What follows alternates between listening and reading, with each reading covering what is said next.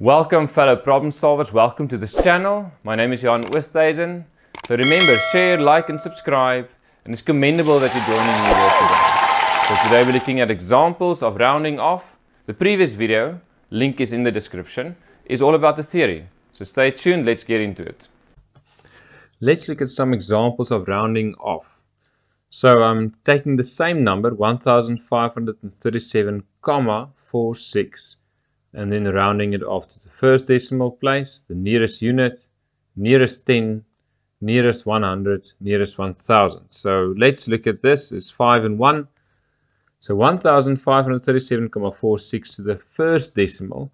In other words, we are looking at what the 6 right over here does to the 4. So you can see the 6 is 5 or bigger. Therefore, it rounds this 4 up. Okay, so any number to the right must then become 0. So our answer over here will be 1537,50. So as we work through these examples, try and do them yourselves before you look at my explanation. It will really help you to progress well in your mathematics. So nearest unit, now we're looking at what this 4 does to the 7. You can see the 4 is smaller than 5. Therefore, it does not round the 7 up to an 8. It just stays a 7. So rounded off to the nearest unit is 1,537,00. To the nearest 10.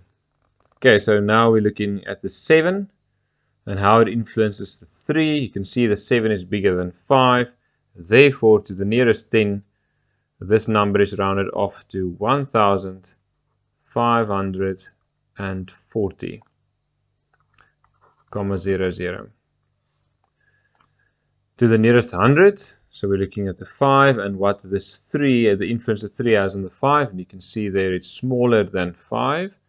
So rounded off to the nearest 100 this will be 1500 comma 0 0 the only reason why I'm showing the double zeros is because our original number had two decimal places there so I have to stick with that.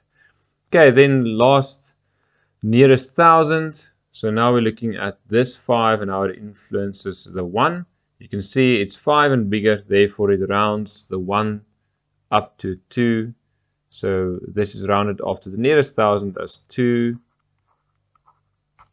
thousand. I believe this will help.